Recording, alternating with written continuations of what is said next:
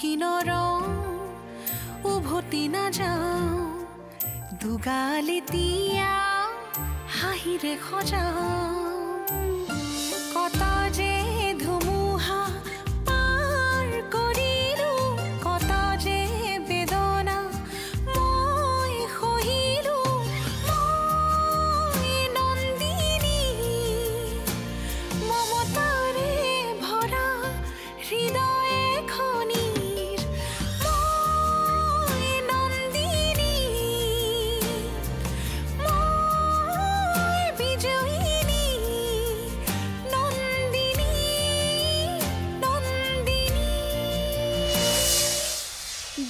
ভাল কাপোৰ এযোৰ পিন্ধাটোতো দূৰৰে কথা। আমি ঘৰত যিমান টকাৰ শাৰী পিন্ধো সিমান টকাৰে তেওঁলোকৰ মাহটো চলে।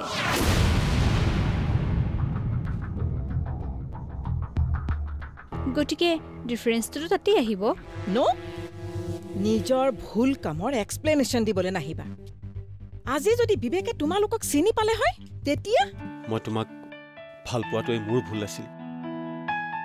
তোমাক বিয়া কৰাব খোজাটোৱেই মোৰ এটা ডাঙৰ ভুল আছিল। আপুনি জানেনে?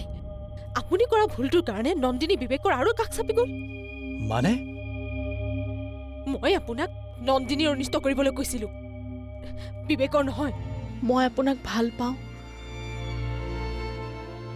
আৰু সেইটো ভাবিয়ে যদি মই আপোনাৰ লগত বিয়াত পঢ়োঁ তেতিয়া মানুহে মোক সুবিধাবাদী বুলি হাঁহিব। যিটো মই কেতিয়াও সহ্য কৰিব নোৱাৰিম।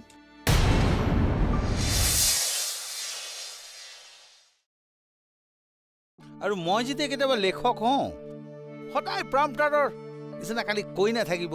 কি মই ভাবিব লাগিব কি মই লিখিব লাগিব। কাম কৰিছো খাইছো শুইছো চক চকে ব্লেডত দাড়ি কমাইছো। এ কেনে!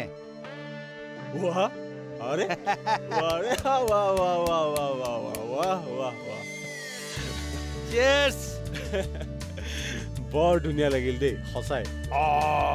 কেইটা বাজে? এঘাৰটা দহ। এঘাৰটা? মাই গড ভোক লাগিছ খানা খাব লাগিছিল। ব'ল খাই লওঁগে। ব্ৰেকটো শেষ কৰি লওঁ।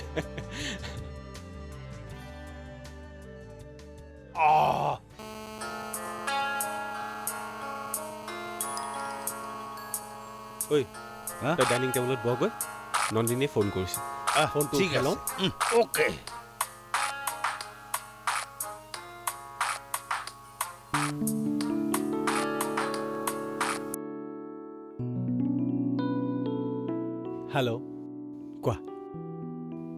বিষটো ভাল পাইছেনে?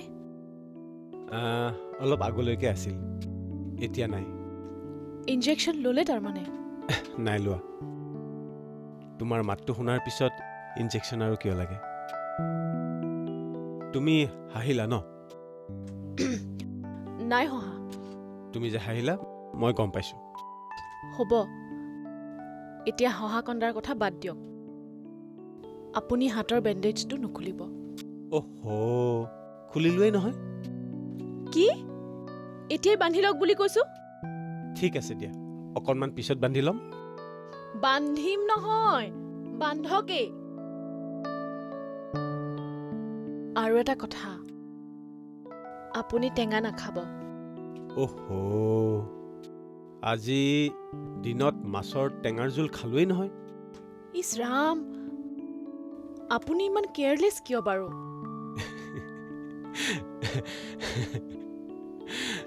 নাই নাই নাই খোৱা দিয়া। তোমাক খং উঠাবলৈহে কৈছিলোঁ। মিছা কথা নক'ব। সঁচাই। তোমাৰ শপত। ঠিক আছে। অলপ কেয়াৰত থাকিব। আৰু নিজে ড্ৰাইভ নকৰিব। ঠিক আছে মোৰ হাই কমাণ্ড আৰু এটা কথা। ছাৰে মালৈ ফোন কৰিছিলে। এই মাহৰ আঠাইছ তাৰিখে আমাৰ বিয়াৰ দিন ঠিক কৰিছে। গম পাইছোঁ। আইতাই মোক কৈছিল শুনা নন্দিনী তুমি সুখীতো।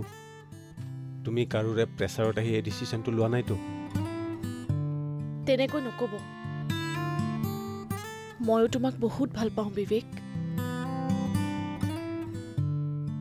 মই আপোনাক আৰু তুমি বুলিয়েই ক'ম।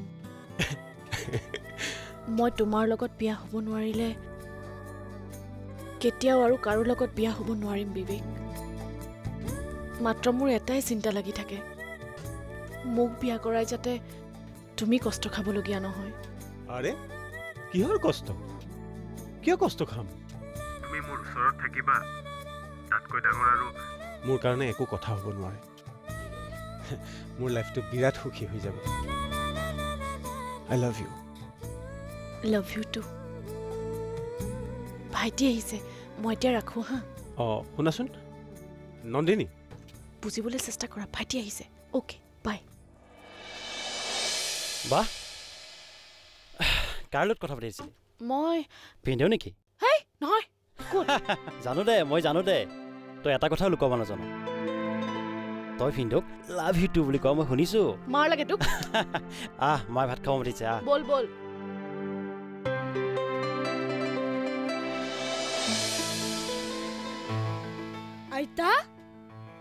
আহি পালা মোৰ সোণটো? আহি পালা? চাওঁ চুমা এটা খাওঁ। নাখাবা। মোৰ স্কিনখন ৰাফ হৈ যাব। তাৰ কথা শুনা। আইতাকে চুমা খালে স্কিনখন বেয়া হৈ যায় নহয়। বাহ বিয়াৰ আয়োজন শেষে নেকি? বৌয়ে বিয়াৰ নতুন সাজ পিন্ধিলে কিয়? অৰিন্দমে তহঁতক ফোনত ইনফৰ্ম কৰা নাই নেকি? ফোনত অঙহী বঙহীকহে ইনফৰ্ম কৰে। ঘৰৰ মানুহক নহয়। কুন্তলা? বাৰু প্ৰশান্ত ক'ত? বাহিৰে বাহিৰে অফিচলৈ গৈছে। গৌৰী বেগটো লৈ আহ।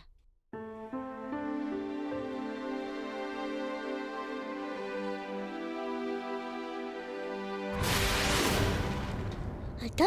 কি হৈছে? একো হোৱা নাই। তুমি বহাচোন এইখিনিতে। শুনা এতিয়া তুমি মোক তোমাৰ স্কুলৰ খবৰবোৰ কোৱাচোন। স্কুলৰ খবৰ বাৰু পিছত ক'ম। কিন্তু তুমি মোক কোৱা যে মোক বিবেক দাৰ বিয়াত কি দিবা। তুমি যি বিচাৰা তাকে দিম। প্ৰমিছ। প্ৰমিছ। আজি আবেলি তুমি তোমাৰ মামাৰ লগত বজাৰলৈ গৈ যি পচন্দ হয় তাকে কিনি আনিবা অ'কে? মামাৰ লগত? অঁ। নটকে কিয়? কাৰণ মামা হ'ল এজন আউটডেটেড মানুহ। আৰু মোকো বজাৰ আউটডেটেড বস্তুবোৰে কিনি দিব। তেতিয়াহ'লে তুমি মোৰ লগতে ওলাবা। মোৰ পচন্দ একেবাৰে নতুন ফেশ্বনৰ। হ'ব। সেইটো দেখিয়ে গম পাইছো। তাতছে ভাল মই বিবেক দাৰ লগতে যাম। বিবেক দা অ বিবেক দা বিবেক দা শুনা বিবেক আজি ঘৰত নাই। ক'ত গ'ল? তোমাৰ বিবেক দা তোমাৰ হ'ব লগা নতুন বৌৰ লগত? বিয়াৰ বজাৰ কৰিবলৈ ওলাই গৈছে। হয় নেকি? ইয়ে বিয়া বিয়া আমাৰ বিয়া দুইজনৰ সিদ্ধান্তৰ অনুসৰি আৰু বিবেকৰ পচন্দৰ মতে নন্দিনী এইখন ঘৰৰ বোৱাৰী হ'বই। কিন্তু তাই যিখন ছ'চাইটিত ডাঙৰ হৈছে আমাৰ এই চলিয়া বংশৰ হাই ছ'চাইটিৰ লগত তাই জানো মিলিব পাৰিব? মানুহে শুনিলে কি ক'ব? এখন সাধাৰণ ঘৰৰ ছোৱালী আমাৰ অফিচতে কাম কৰে আৰু এয়া চলিহা বংশৰ উচ্চ মৰ্যাদা সম্পন্ন ঘৰত ডাঙৰ বোৱাৰী হ'ব।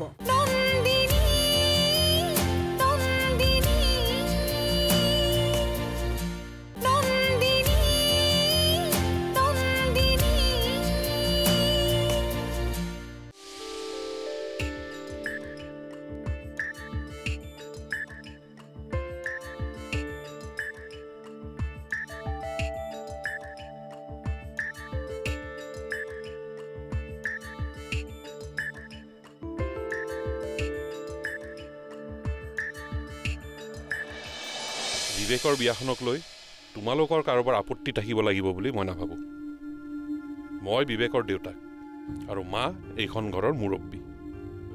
আমাৰ দুইজনৰ সিদ্ধান্তৰ অনুসৰি আৰু বিবেকৰ পচন্দৰ মতে নন্দিনী এইখন ঘৰৰ বোৱাৰী হ'বই। কিন্তু তাই যিখন ছ'চাইটিত ডাঙৰ হৈছে আমাৰ এই চলিয়া বংশৰ হাই ছ'চাইটিৰ লগত তাই জানো মিলিব পাৰিব? মানুহে শুনিলে কি ক'ব? এখন সাধাৰণ ঘৰৰ ছোৱালী আমাৰ অফিচতে কাম কৰে আৰু এয়া চলিহা বংশৰ উচ্চ মৰ্যাদা সম্পন্ন ঘৰত ডাঙৰ বোৱাৰী হ'ব। মানুহে শুনালৈ বা কোনোবাই কিবা কোৱাক লৈ মই গুৰুত্ব দিব খোজা নাই। কাৰণ সেই মানুহখিনিয়ে মোৰ ল'ৰাৰ সংসাৰ সুখী কৰিব নোৱাৰে।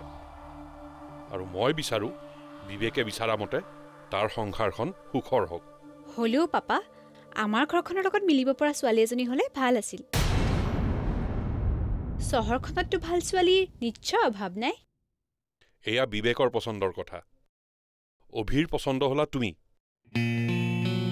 আৰু তাৰমানে পাপা মই অভিৰ পচন্দৰ কাৰণেহে এইখন ঘৰত আছোঁ। তুমি তাইক তেনেকে কিয় কৈছা?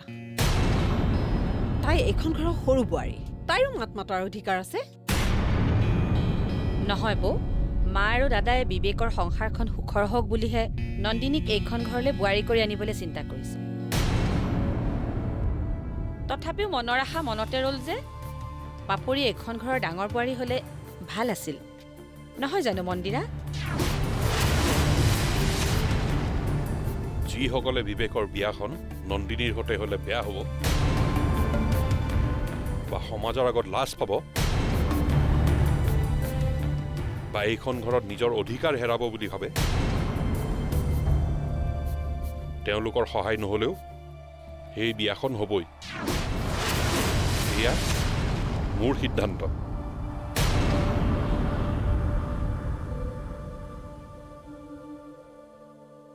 আৰু এটা কথা দুই এদিনতে আমি নন্দিনীক আঙুঠি পিন্ধাবলৈ যাম। কাৰোবাৰ যদি যাব আছে যাব পাৰা। নগ'লেও নাই। মা আৰু মই যামেই। এয়া মাৰ সিদ্ধান্ত।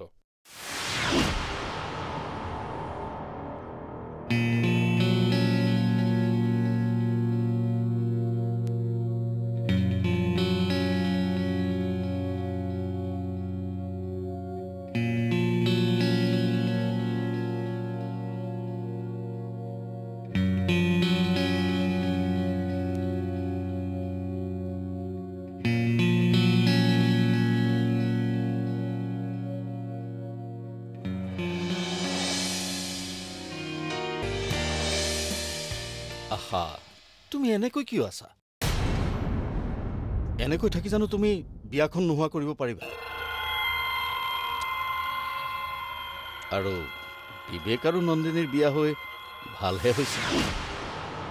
কি? তোমাৰ ব্ৰেইনত আছে কি? অফিচত সকলো ডিচিশ্যন নিজৰ ফলীয়া কৰি লোৱাৰ পিছত এতিয়া ঘৰখনো আহি তাই নিজৰ ফলীয়া কৰিব। তাত তুমি কি ভালটো দেখিলা? ৰিলেক্স ৰিলেক্স বহাচোন বহা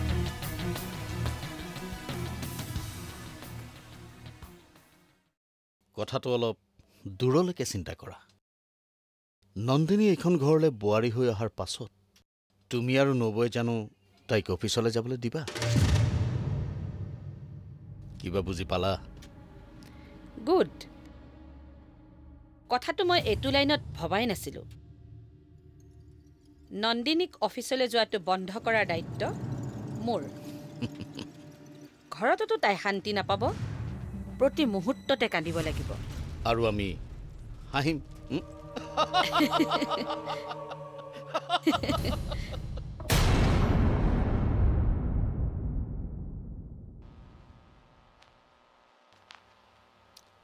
ইমান হাঁহি কিহৰ বাবে?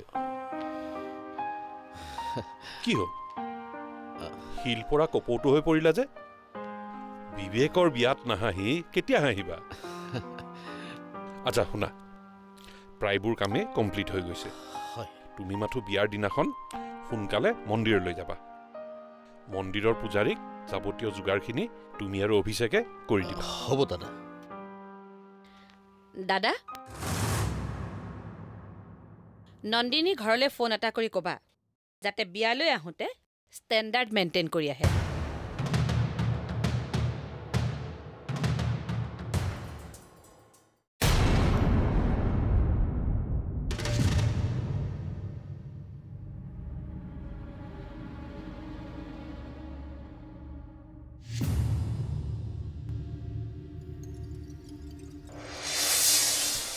নন্দিনী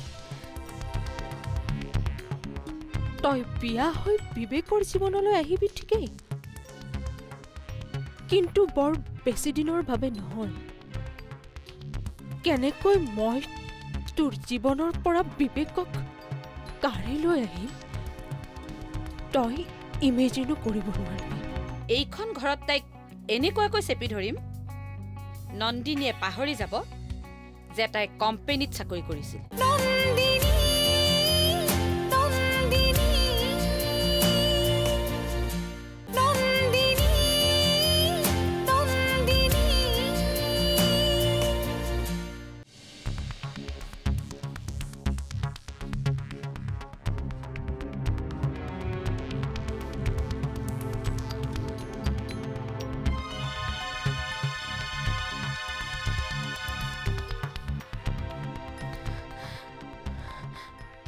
নন্দিনী। তই বিয়া হৈ বিবেকৰ জীৱনলৈ আহিবি ঠিকেই। কিন্তু বৰ বেছি দিনৰ বাবে নহয়। কেনেকৈ মই তোৰ জীৱনৰ পৰা বিবেকক কাঢ়ি লৈ আহিম? তই ইমেজিনো কৰিব নোৱাৰিবি। তই বোৱাৰী হৈ এইখন ঘৰত খোজ দিবি ঠিকেই। কিন্তু তোৰ সেই খোজ তোৰ সুখৰ বাবে নহ'ব। মই কথা দিলোঁ।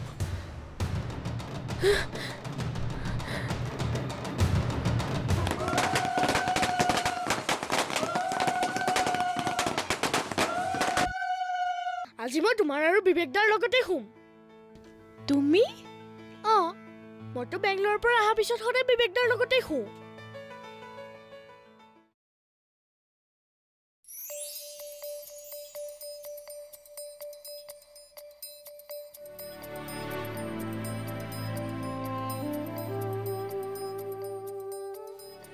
কলৈ গৈছিলা? লনত অলপ অনিৰ্বাণৰ লগত কথা পাতি আছিলোঁ। তাৰ আগত সকলো কথা নকবা। সি দাদা আৰু বিবেকৰ চামচাহে? জানো তাৰ পৰা এটা নতুন ইনফৰমেশ্যনহে উলিয়ালোঁ। কি ইনফৰমেশ্যন কোম্পানীৰ ব্ৰাঞ্চ এটা নতুনকৈ শ্বিলঙত আৰম্ভ হ'ব। কি? সেইটো হ'লেতো ভালেই হয়। সেই ব্ৰাঞ্চটো চলাবলৈ হয়তো বিবেকক পঠাব। আৰু ইয়াত মই। এনেই বুকু এহাত কৰি দেখুৱাব নালাগে। একো কৰিব নোৱাৰা তুমি। চাই থাকা তুমি। এই প্ৰশান্ত শইকীয়াই কি জাল পেলাব?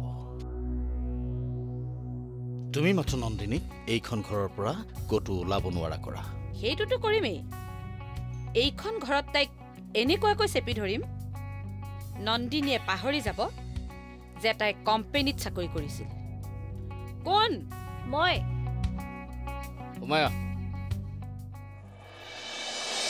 কি হ'ল? ৰশ্মিন বাবা বোলে আজি নন্দিনী বৌৰ ৰুমৰ পৰা নাহে। সি বোলে আজি তাতেই শুব? এই ল'ৰাটোৱে যে মোৰ মান সন্মান চব চেছ কৰিলে। ব'ল।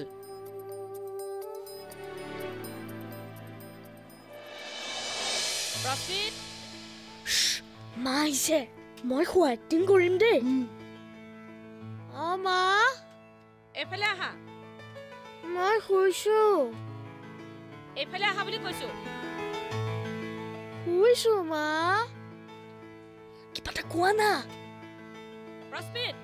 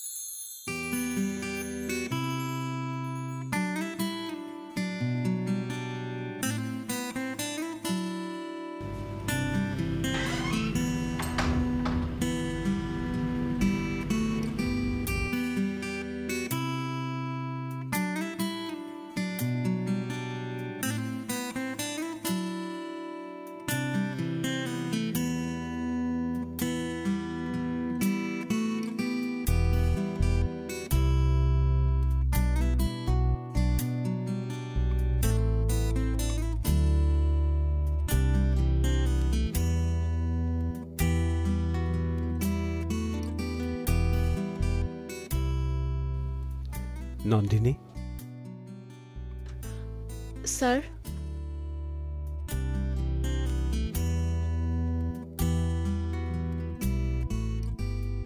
তুমি আজিৰ দিনটোতো মোক ছাৰ বুলি মাতিবলৈ এৰা নাই।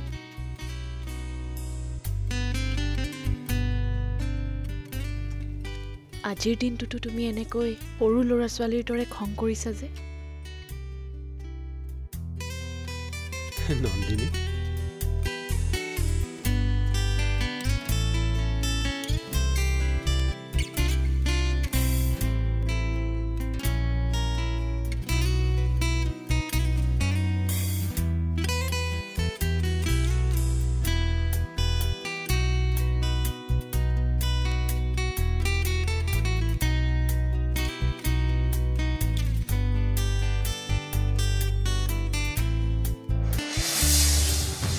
চলিহা মেনশ্যনলৈ যোৱাকালিহে আহিছা?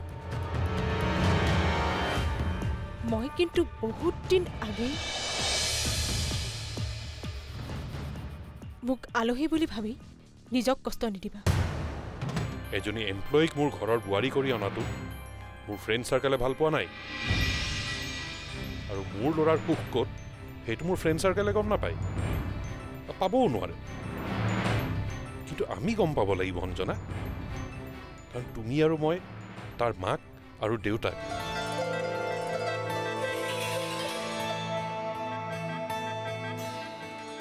নন্দিনী